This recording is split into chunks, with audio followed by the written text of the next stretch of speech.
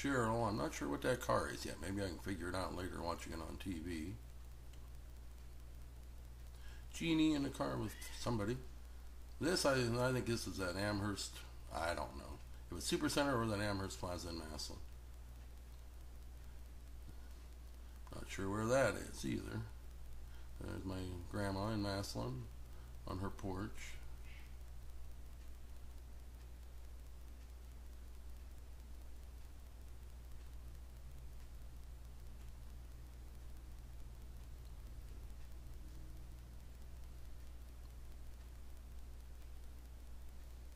Butch and Carol, they had come down there because the brakes went out on that Mercury sitting there when me and my mom were driving down. Luckily, we were only gone like five miles an hour and we're ready to pull into my grandma's driveway there when the brakes went out.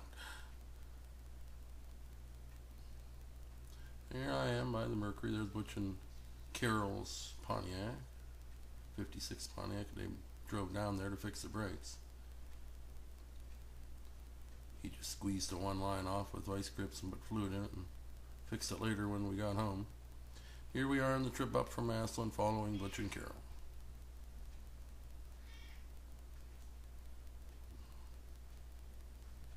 And Michael's out in the kitchen meowing for tuna fish now if you hear a cat meowing on here.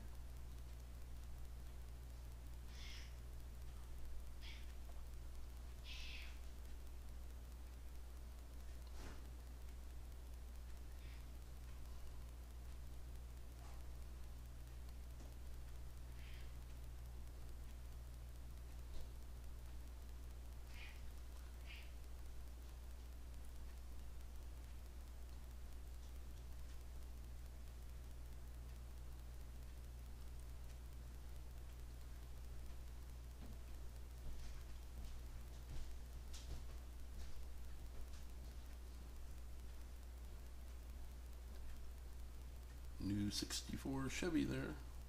Cheapy, passing on the left.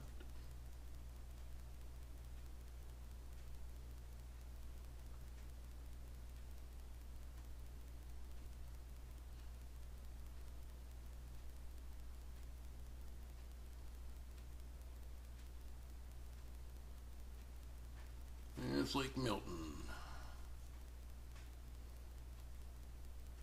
On Route 18, the bridge coming up.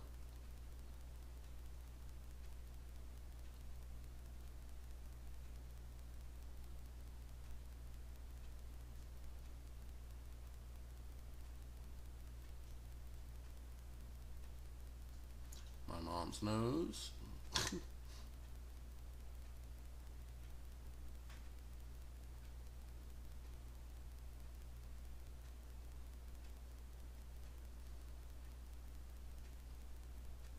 About the end of the movie, there's the bridge over Lake Milton.